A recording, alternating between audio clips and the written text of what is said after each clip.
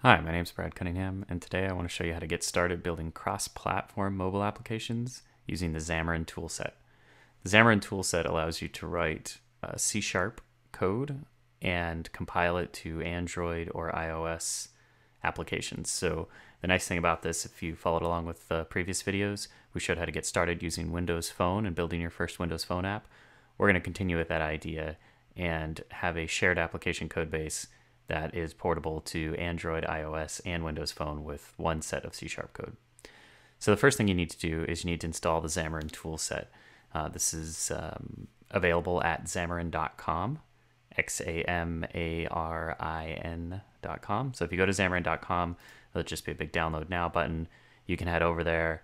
Uh, they add they they offer you a few different options when downloading the Xamarin toolsets. Uh, I'm going to go with the free option for this demonstration, and it's available to anybody for free. It's limited in what you can do, um, and, and, there are some various different levels depending on what you're doing.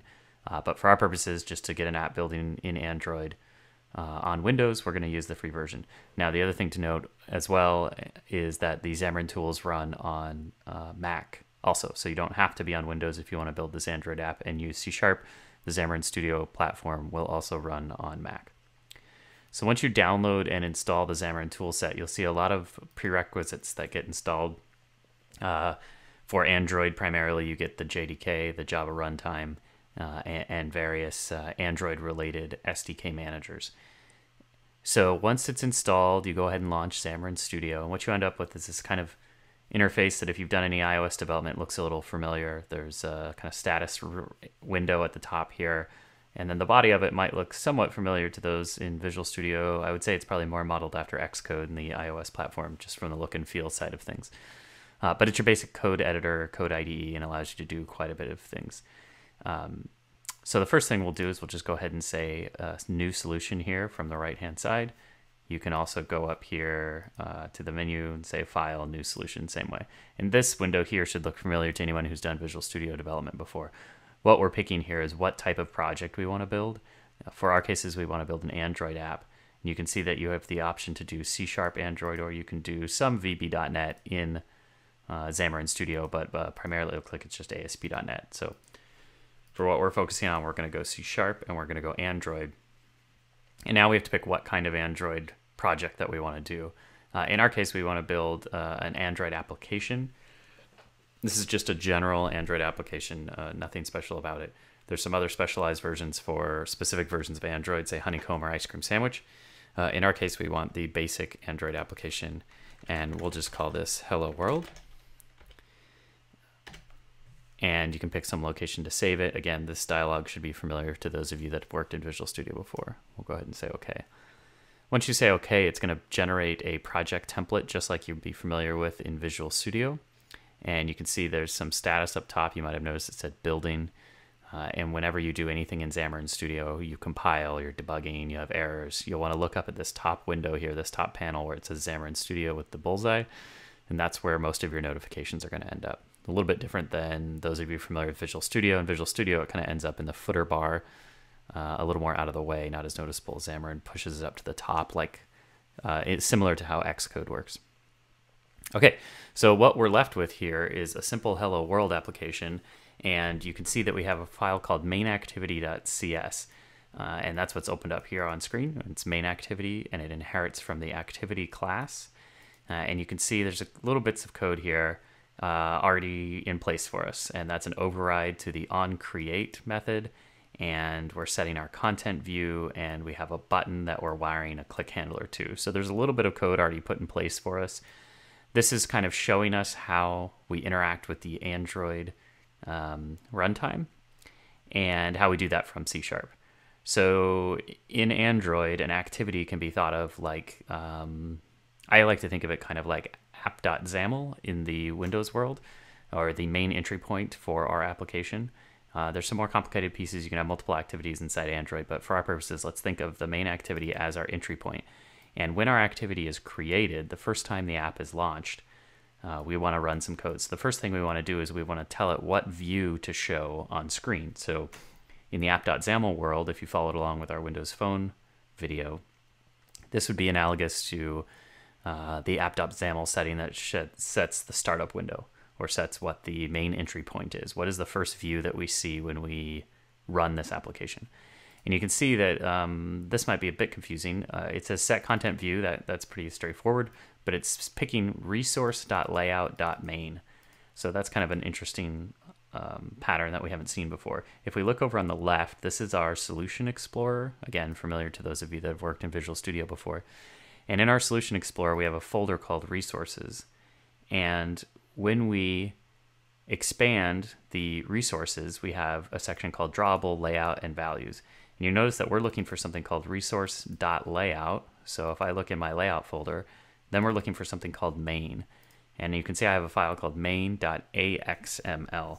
Uh, and you notice that that's uh, just one transposed letter away from XAML, uh, AXML or XAML, depending on what uh, you're looking at. And if I double click on main.axml, what you'll see is I actually get a designer. So now think of this like your XAML file, and it nearly is your XAML file. And we'll see that the syntax of AXML or Android XML uh, is very similar to the syntax for XAML. So when you double click on your AXML, what you end up with is a designer screen. Um, and our Hello World, we happen to call this project Hello World, which is why it's uh, shoved up at the top here. And, and, this is just a basic template that's spit out for us by Xamarin. The file new project in Xamarin for Android spits out this, this plumbing for us just to kind of show how we work with things. This designer is probably familiar to anybody who's used these integrated designers before. You've got a list of widgets on the right hand side that we can drag and drop onto the form.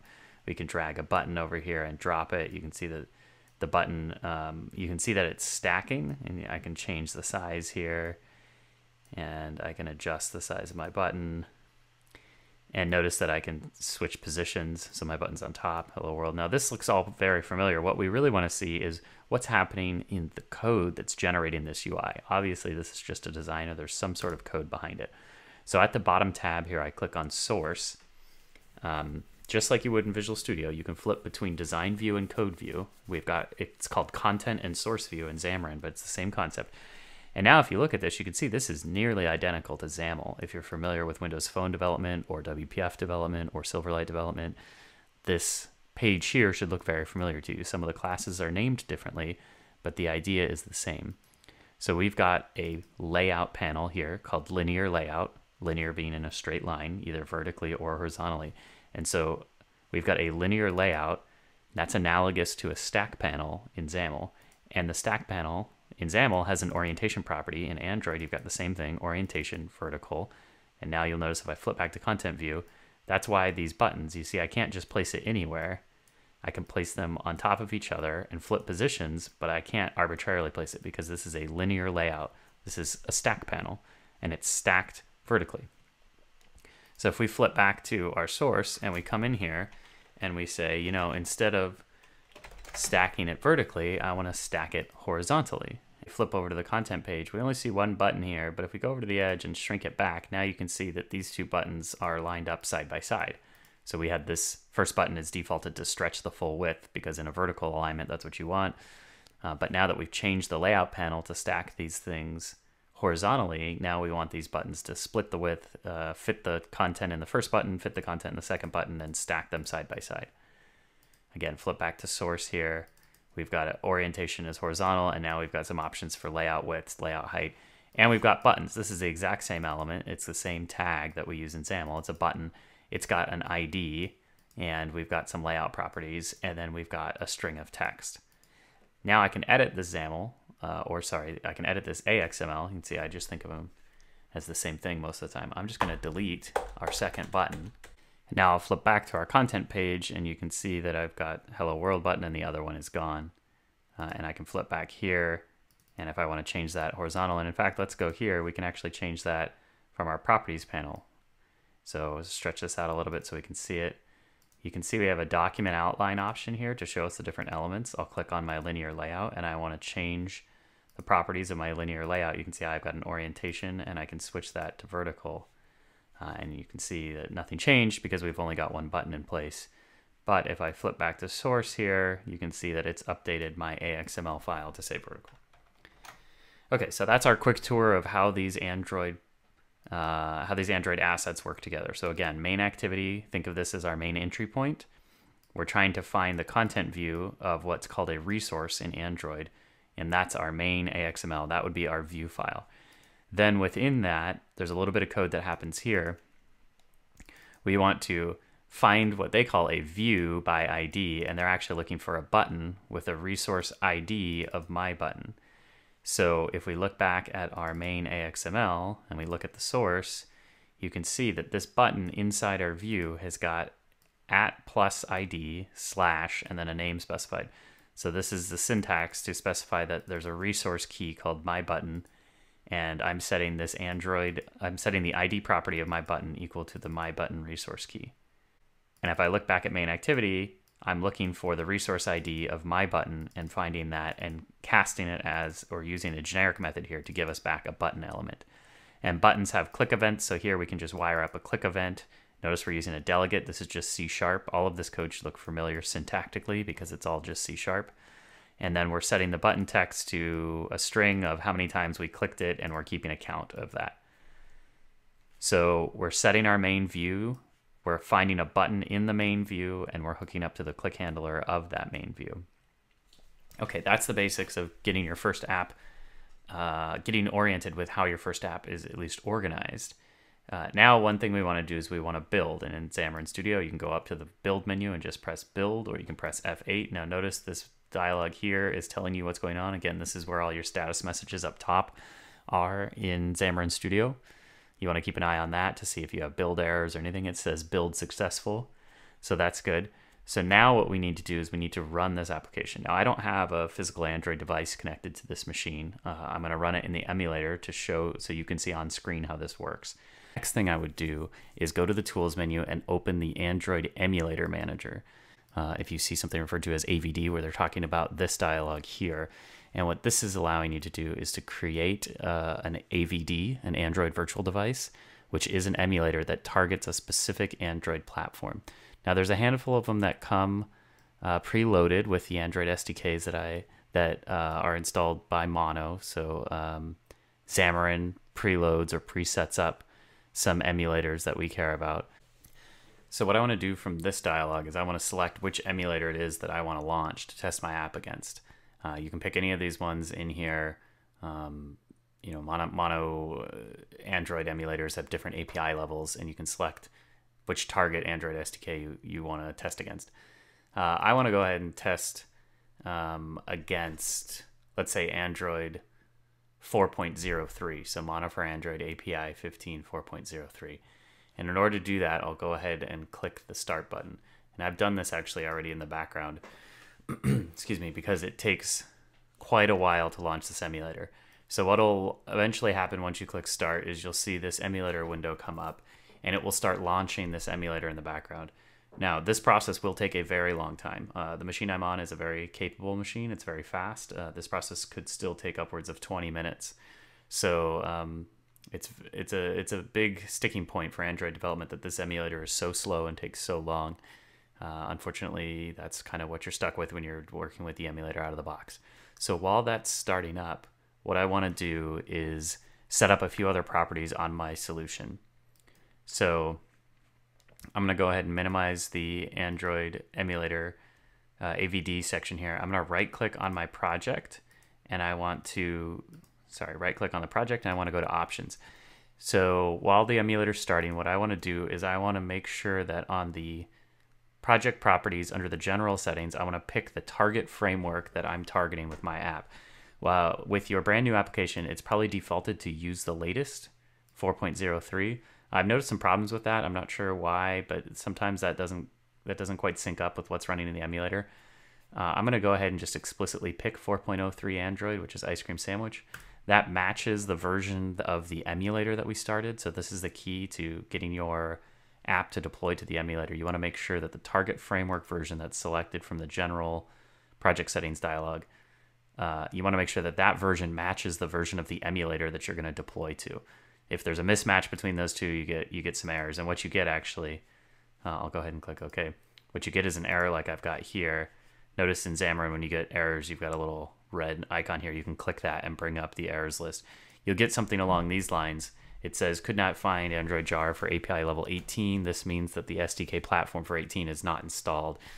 Um, so it's complaining here about a mismatch between the version of the SDK that's installed on the emulator that I'm trying to run and the version that I'm targeting with my application.